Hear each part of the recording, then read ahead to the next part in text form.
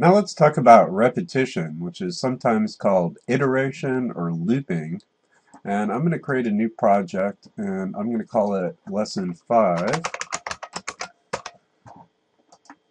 And the book talks about three different types of loops. The first is a while loop. So let me go ahead and show you what that looks like. So I'm going to right click on here and create a new Python file called Lesson 5. And here's the pseudocode for the first type of loop. While some condition, for example, x less than 10,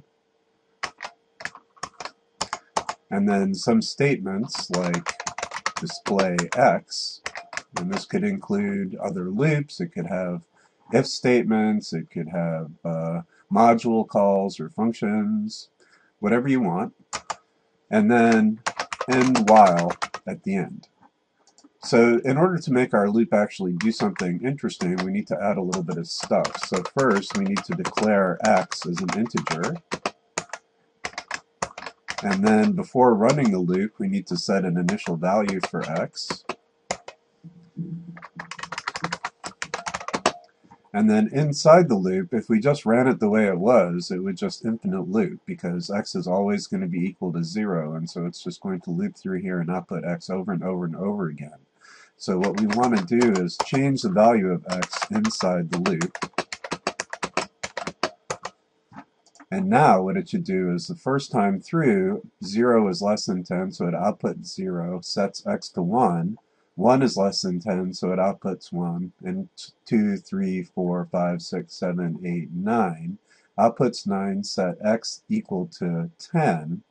10 is not less than 10, so it drops out of the loop by going to this end while and then goes on its way. So at the end we'll say display goodbye. So let's write the Python for this. So we'll declare x equal to an integer, and then set x equal to 0. Let's repeat that line, sort of redundant. Um, but uh, while x less than 10, colon, print x, and then x equal x plus 1, and then once again, just like with the if statement, the indentation is telling the while loop where it ends. So all we have to do here is say goodbye. So if we run this, we see the number between numbers from 0 to 9, followed by goodbye. Now we can also change the loop a little bit. So for example, we can start at 10, and then while x is greater than 0, display x, and then set x equal to x minus 1, and then say blast off. So changing the code here, x is 10, while x greater than 0, print x, x equal x minus 1, and then blast off. So now if we run it, we get a countdown, 10, 9, 8, all the way down to 1, and then blast off.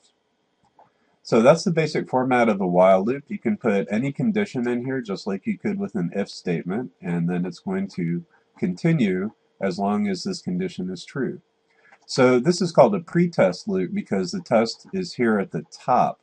And that means that, for example, if I start with x equal to 0, the first time it hits this loop, this condition is false. So basically, this code here never gets executed at all. So if I run it, you'll see I just get blast off.